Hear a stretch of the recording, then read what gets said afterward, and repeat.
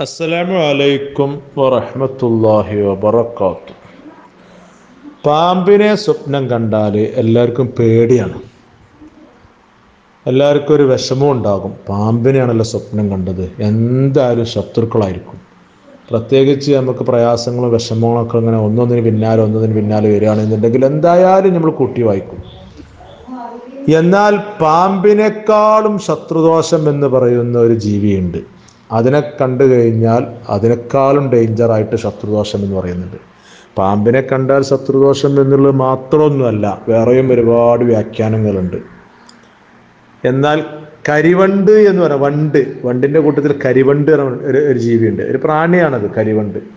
അതിനെ സ്വപ്നം കാണുകയാണ് എന്നുണ്ടെങ്കിൽ പാമ്പിനെ സ്വപ്നം കാണുന്നതിനേക്കാളും ഡേഞ്ചറാണ് പാമ്പിന് പിന്നെയുണ്ട് ഒരുപാട് വ്യാഖ്യാനങ്ങൾ ചിലതൊക്കെ നല്ലതൊക്കെ ഉണ്ട്. എട്ടോ ഏഴോ എട്ടോടൊക്കെ വ്യാഖ്യാനങ്ങൾ പറയുന്നുണ്ട്.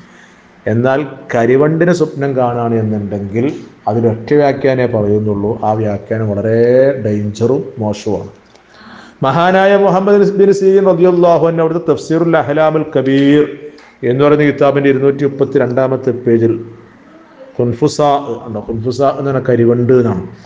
അതിനെ സ്വപ്നം കണ്ടു കഴിഞ്ഞാൽ ഏഹ് കതിരുന്ന ഉണ്ടോ മോശമായ മ്ലേച്ഛമായ ഭാരമേറിയ ശത്രു.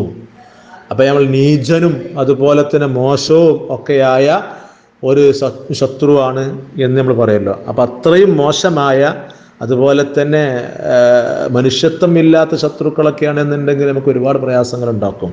അതൊക്കെ ഭാരമേറിയതായ അതുപോലെ തന്നെ മോശം സംസാരം അവരുടെ കൾച്ചറും എല്ലാം മോശമായിരിക്കും.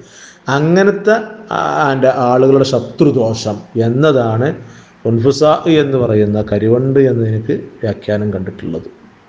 കേട്ടോ. അള്ളാഹു താല സലാമത്താക്കട്ടെ ഹൈറ് നൽകട്ടെ. അമീൻ. റഹ്മത്തിക്ക് റഹ്മ